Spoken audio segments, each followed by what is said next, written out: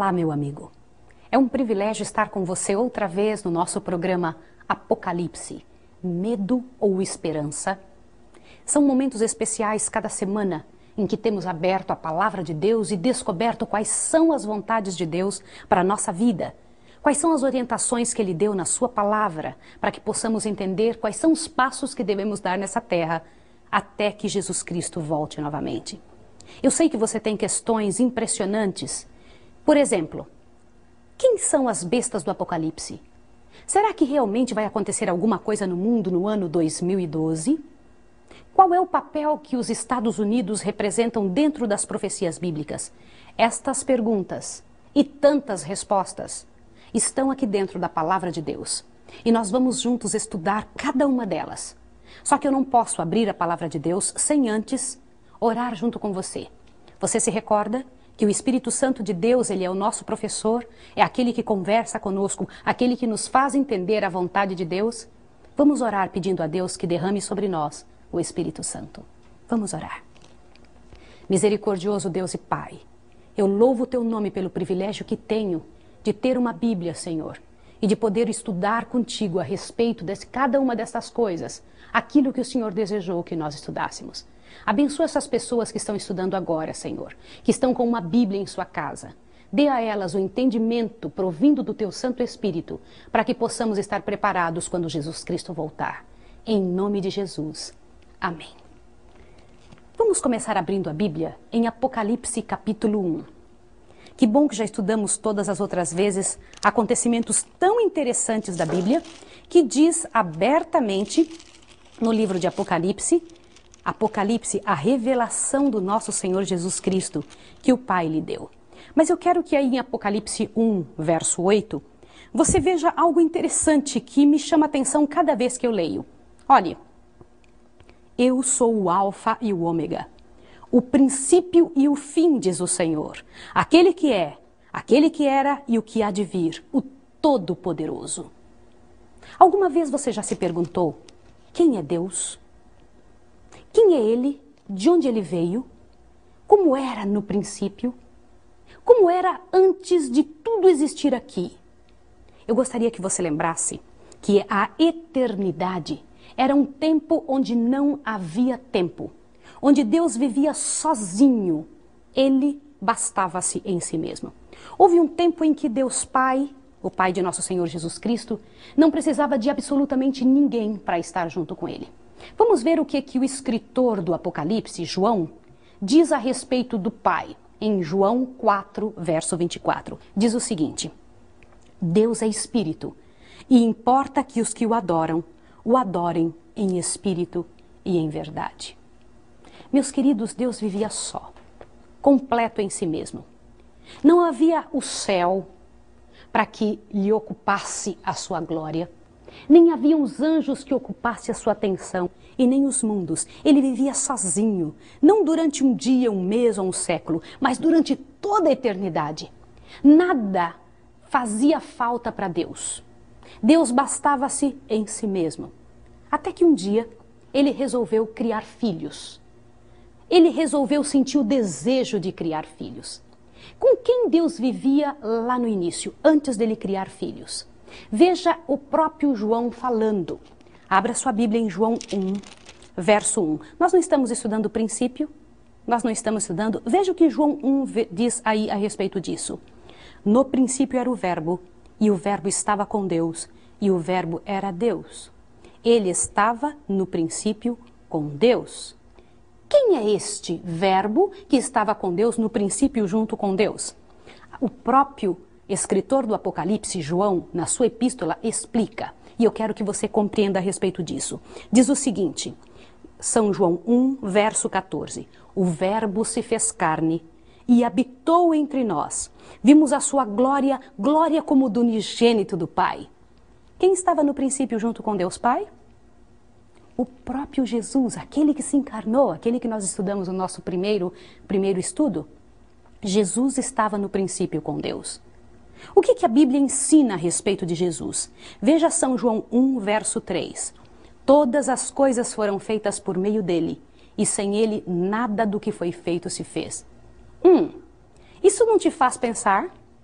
O que, que você entende quando você lê que Jesus criou alguma coisa. É isso que São João nos diz. O que, que diz aqui? São João 1, verso 3. Todas as coisas foram feitas por meio dele e sem ele nada do que foi feito se fez. A maior parte de nós pensa que aqui está falando de Deus Pai, mas aqui está falando de Jesus Cristo, o Deus Filho. Só para que você tenha certeza disso que eu acabei de dizer, corra a sua Bíblia em Colossenses. Vai lá no livro de Colossenses e você vai ver novamente essa indicação a respeito de Jesus Cristo como Criador do universo. Colossenses, capítulo 1. Vamos juntos? Você conseguiu encontrar? Eu espero você encontrar porque essa informação é muito preciosa e faz muita diferença para nossa compreensão de quem é a divindade. Deus Pai você já sabe. Ele é o eterno, é o Pai de nosso Senhor Jesus Cristo. Mas e o Filho, quem é? Dê uma olhadinha em Colossenses 1, verso 12 em diante. Vamos ler juntos dando graças ao Pai, que nos fez idôneos para participar da herança dos santos na luz, e que nos tirou do poder das trevas e nos transportou para o reino do Filho do seu amor, em quem temos a redenção pelo seu sangue, a saber, a remissão dos pecados. De quem está falando? De Jesus, não é? Continua lendo. Ele é a imagem do Deus invisível, o primogênito de toda a criação pois nele foram criadas todas as coisas que há no céu e na terra, visíveis e invisíveis, sejam tronos, sejam dominações, sejam principados, sejam potestades, tudo foi criado por ele e para ele. O que você acabou de entender? Aqui está se falando de Jesus, o Filho? Aqui diz que foi Jesus quem criou tudo. Por isso que em São João nós temos a informação de que ele é o Verbo de Deus. Verbo é a palavra que exprime ação. O Verbo de Deus é aquele que faz as coisas pelo Pai. Está compreendida essa parte? E quem que é o Espírito de Deus? O próprio escritor do Apocalipse é capaz de nos dizer. São João 14. Abra sua Bíblia em São João 14 e você vai ter essa indicação cheia de significado. Foi vinda do próprio Jesus e quando Jesus explica alguma coisa, ele explica com muita propriedade. São João 14, verso 26, diz o seguinte: Mas o Consolador, o Espírito Santo, que o Pai enviará em meu nome, vos ensinará todas as coisas e vos fará lembrar de tudo o que eu vos tenho dito. Hum, você entendeu agora por que, que é que em todas as nossas aulas eu começo orando dizendo que eu preciso do Espírito Santo para me fazer compreender porque ele é o professor? Porque Jesus disse isso. Jesus disse que o Espírito Santo ensina todas as coisas e nos faz lembrar de tudo que Jesus disse.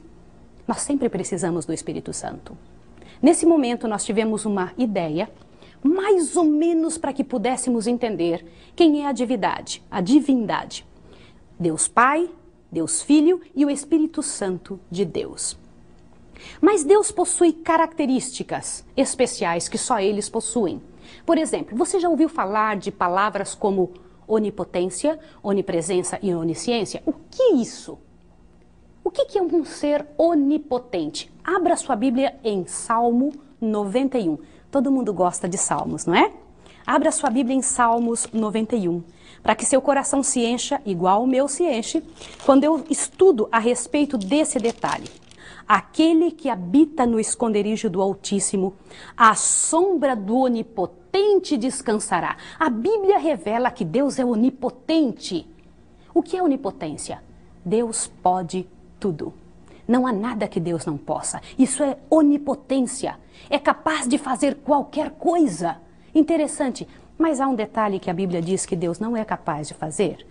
Deus é incapaz de mentir. Quem que é o pai da mentira mesmo que nós estudamos no no estudo passado, é o diabo, o inimigo de Deus, é o pai da mentira. Deus não pode mentir, em Deus não há injustiça. A segunda característica de Deus, onipresença. Continue no livro de Salmos, mas vá para o Salmo 139. O que, que é onipresença? Onipresença é uma característica muito interessante de Deus, que faz com que ele possa estar em todos os lugares ao mesmo tempo. Como é que se entende isso? não se consegue entender. Veja em Salmo 139, o verso é o verso 7 e 8. Para onde me irei do teu espírito? Para onde fugirei da tua face? Se subir ao céu, tu aí estás. Se fizer nas profundezas a minha cama, tu ali estás também. Se tomar as asas da alva, se habitar nas extremidades do mar, ali ainda a tua mão me guiará e a tua destra me susterá. Isso é onipresença. Deus pode estar em todos os lugares ao mesmo tempo. Isso não é grandioso? Isso não te enche de admiração? Assim o nosso Pai. Ele pode estar aqui e está comigo. E Ele está aí com você. Ele está também com os nossos parentes ao redor de todos os lugares do mundo. Deus está em todos os outros planetas e está no céu. Isso não é interessante?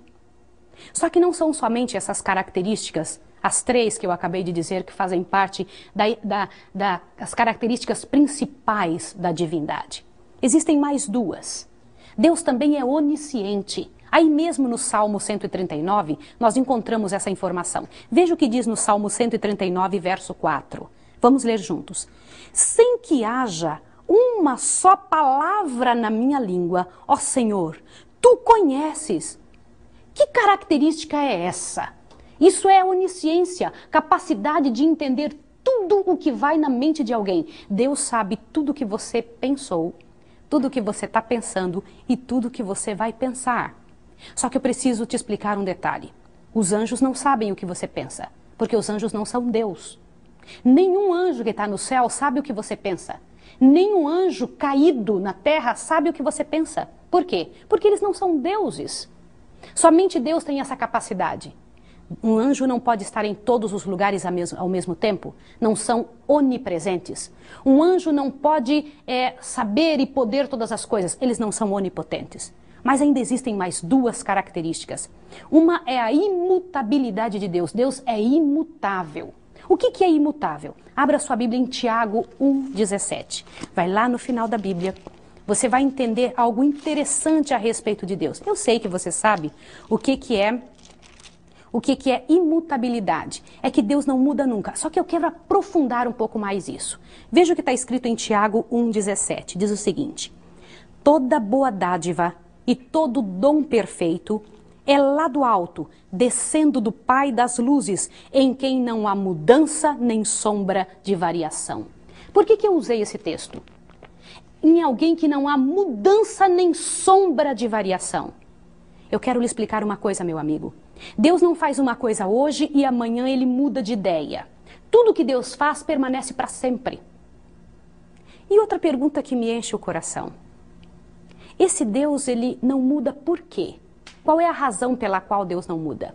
Abre a sua Bíblia em Malaquias, Malaquias 3, verso 6. Diz o seguinte: Eu, o Senhor, não mudo. Por isso, vós, ó filhos de Jacó, não sois consumidos. Sabe por que, que Deus não muda? Porque Ele é justo e é amor e nos ama. Tudo que Ele disse que Ele faria por nós no passado, a gente pode acreditar que Ele vai fazer no futuro, porque Ele não muda. Quando Ele diz que nos ama, nós podemos acreditar porque Ele não muda. Isso é imutabilidade. Isso enche meu coração de alegria. Então, quais são as cinco características de Deus? Eles são onipresentes, onipotentes, onisciente, imutável e também eles são imortais. O que, que é imorta imortalidade? Não morrem nunca. É a última característica que nós precisamos aprender. Imortal em 1 Timóteo 1,17. Você encontra essa essa informação. Abra sua Bíblia comigo em 1 Timóteo. Quando nós encontramos essa informação em 1 Timóteo, ela é cheia de significado. 1 Timóteo 1, verso 17. Ora, ao Rei eterno, imortal, invisível, ao único Deus, seja honra, glória para todo sempre. Amém. Estas são as características de Deus. Mas onde eles moram?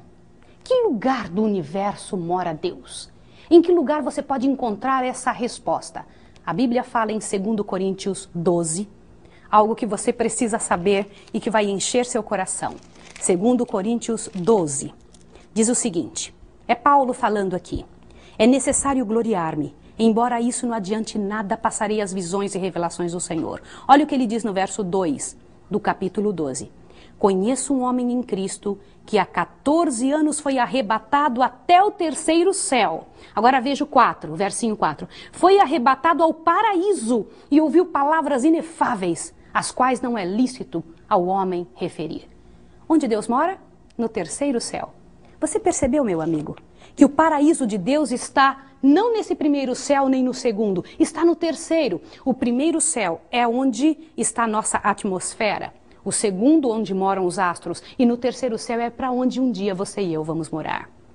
Mas como Deus governa? Eu queria que você pensasse, se Ele é o Deus do universo, como que Ele governa? Hoje você vai aprender uma característica interessante a respeito de Deus. João, o escritor do Apocalipse, nos diz algo muito importante a respeito de Deus em 1 João 4, verso 8. É no finalzinho, quase pertinho de Apocalipse, está o livro de João. Como é que é o governo de Deus? 1 João 4, verso 8, diz o seguinte: Aquele que não ama não conhece a Deus, pois Deus é amor. Eu sei que você conhece esse texto. Deus é amor. Deus governa com amor, mas um amor que nunca muda, que nunca se transforma. E qual é a base do governo de Deus? Você já parou para pensar? Olha, um governo é firmado em algumas coisas, alguns em poder, outros em justiça, outros em pecado, outros em arrogância. Como é o governo de Deus? Como é que é a base do seu governo? Quando você compreender isso, muitas coisas vão fazer sentido no seu coração. E eu gostaria que você abrisse a sua Bíblia em Salmo 19. Em Salmo 19 nós encontramos essa informação cheia de significado. O verso 7 a 11 diz o seguinte: A lei do Senhor é perfeita e refrigera a alma.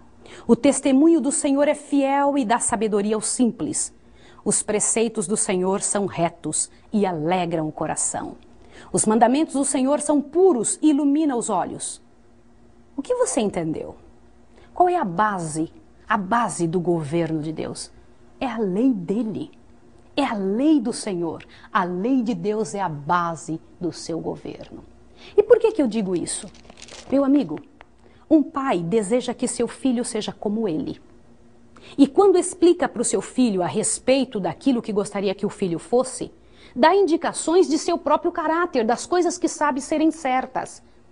A única vez que Deus falou audivelmente para um grupo muito grande de pessoas foi quando ele ditou abertamente a sua lei para os filhos de Israel. Aliás, a única parte da Bíblia que não foi escrita por absolutamente ninguém. Deus não permitiu que nenhuma pessoa colocasse sua própria mão, sua própria mente, sua própria ideia ao escrevê-la. Essa parte da Bíblia é a parte onde Deus dita e escreve com seu próprio dedo os Dez Mandamentos. Você alguma vez já se perguntou aonde estão os Dez Mandamentos? Aqueles mandamentos que mostram o caráter de Deus Pai. Aonde estão escritos? Na Bíblia? Abra sua Bíblia em Êxodo, o segundo livro da Bíblia, capítulo 20. E eu gostaria de ler junto com você. Como é importante saber e entender qual é a vontade de Deus escrita por sua, seu próprio dedo, a própria escrita de Deus. Vai em Êxodo 20, verso 1 em diante. Leiamos juntos.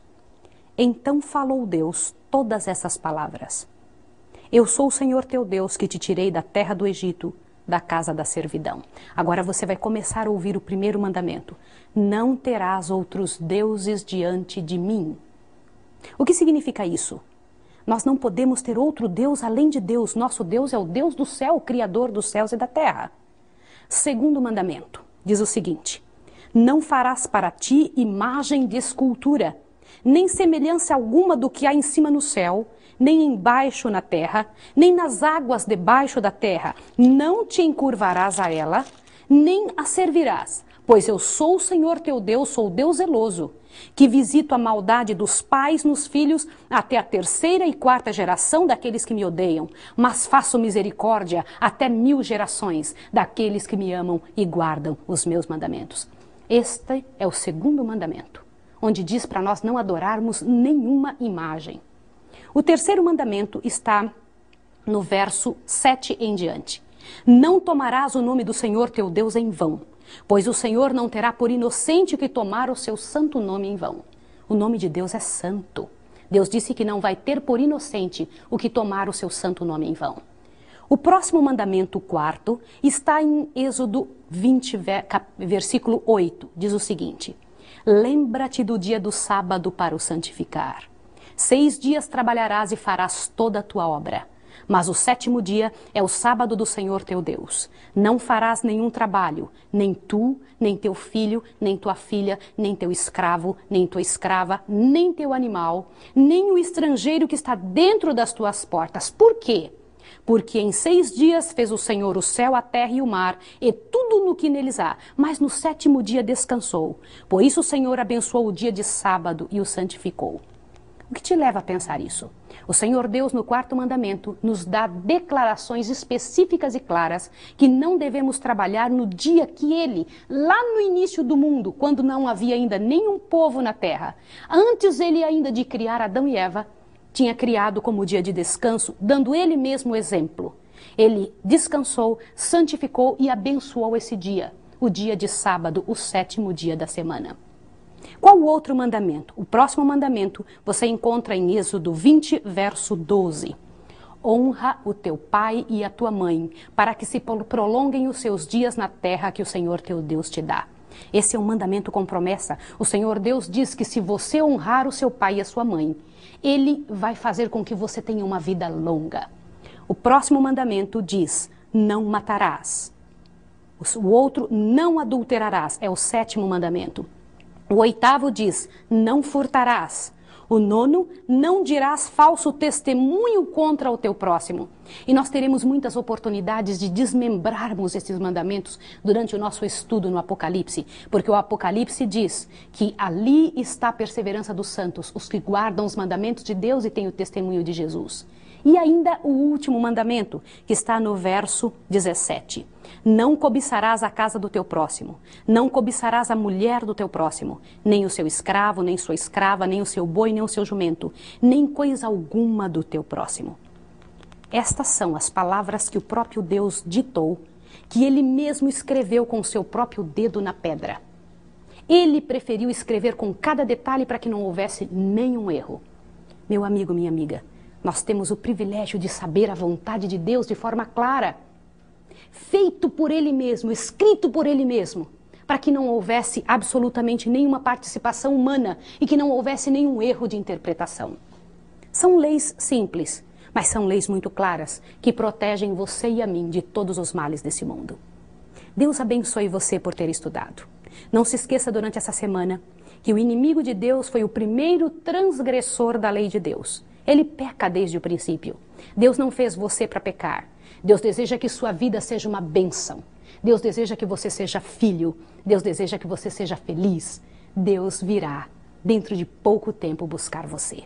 Vamos orar? Eu quero orar com você agora. Misericordioso Deus e Pai que estás nos céus. Eu louvo o teu nome pelo privilégio que temos de entender claramente qual é a sua vontade. Senhor, nós desejamos que o Senhor governe sobre nós. Aceitamos as tuas leis para a nossa vida e te pedimos em nome de Jesus que nos ajude a compreender ainda mais a tua vontade no nosso próximo estudo. Em nome de Jesus. Amém. Até a próxima. Se você deseja saber mais sobre esse ou outros assuntos relacionados ao Apocalipse e sobre a volta de Jesus, entre em contato conosco e receba um estudo sobre as revelações do Apocalipse. E saiba mais sobre as incríveis profecias deixadas na Bíblia por Jesus e sobre a sua segunda vinda. Nos vemos sábado que vem neste mesmo horário. Que Deus te abençoe. Até lá. Não estranho, mas um pai que sentia As perguntas respondeu-me, os meus medos compreendeu. Ao falar a minha fé, fim ele